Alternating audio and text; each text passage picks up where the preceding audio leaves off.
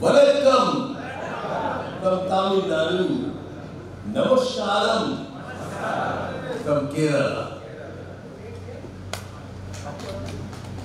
Within us, our honorable leader and MP Kharagpur, M- Sri Dilip Ghosh, honorable member of parliament,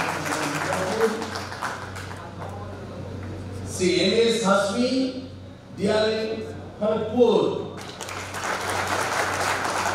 Dr. V.K. Tewari, Director IIT Kharagpur,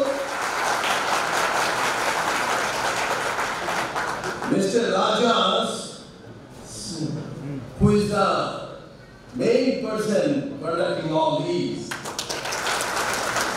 Mr. Rajesh Kumar, Senior DCM, and who is conducting the session, Mr. Hmm, Kripal Singh, and all other dignitaries from different departments and candidates who are present here on this occasion and have received we receive appointment letters and members of the media. I'm glad to be present at the STC Auditorium, Kharagpur, to congratulate all the new appointees by providing them with the joining letters. Dear all, I'm happy to say that our Honorable Prime Minister, Sri Narendra Modi ji, initiated the Rojgar Mela recruitment drive for 10 lakh personnel.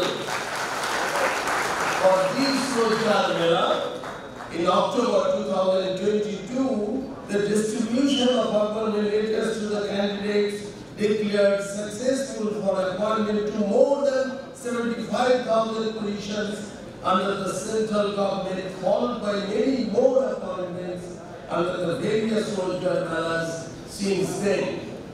Dear all, the recruitment in mission mode and is taking places across all ministries, departments and organizations either directly or through recruitment agencies. The recruitments are largely in posts at Group B and Group C levels. Today, more than 200 candidates present at this venue to collect the appointment letters for recruitment in different central government organizations, that is railway, IT, PSU, bank, I congratulate them for their grand success and also advise them to contribute their role in their concerned recruitment department in a disciplined manner. This is a significant step forward towards fulfilling the continuous commitment of our Honorable Prime Minister, Sri Narendra Modi ji, to provide job opportunities for the youth and ensuring the welfare of citizens. Dear all, Honorable Prime Minister, Sri Narendra Modi ji also launched the Karma Yogi Prarambh portal, that is Karma Yogi Prarambh module, which is an online orientation course for all the new appointees in various government departments.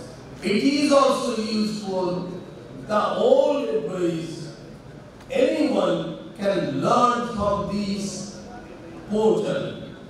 The Karma Yogi Prarambh module include a code of conduct for government servants, workplace ethics and integrity and government HR policies or rules that will help them to get acclimated to the policies and transition smoothly into the new positions.